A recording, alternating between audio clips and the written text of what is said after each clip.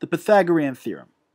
So for any right triangle with legs of length a and b and hypotenuse of length c, a squared plus b squared will always be equal to c squared. This is known as the Pythagorean theorem, and that's what we're going to show here. Also, it turns out that if a triangle has sides of length a, b, and c, where you can write where you can express these or relate these lengths with the, the, equation a squared plus b squared equals c squared, it turns out that that has to be a right triangle. But we're just going to prove the first claim here. So to do this, we're going to arrange four identical right triangles into a square. And we're going to find the area of this larger square two different ways. The first way is just to treat it as a large square with side length a plus b. So its area is a plus b squared. Done. To move on to the second method, we can look at the four triangles around the edge, the right triangles, as well as a, an orange square with side length c inside. So the area of these four triangles, each triangle has area of 1 half times base times height, or AB over 2.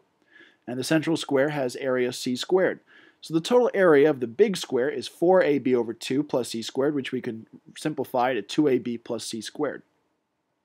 Now we can set the areas, these two areas that we've calculated, to be equal to each other because they're both the area of this larger square. So our first result was a plus b squared. Our second result was 2ab plus c squared.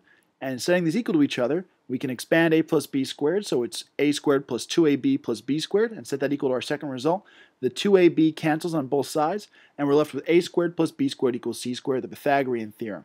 Now notice that we didn't make any assumptions about the lengths of a, b, and c, just that a and b were the legs of the right triangle, and c was the hypotenuse. So because we didn't make any specific assumptions about a, b, and c, this must be true for all a, b, and c. This must be true for all right triangles.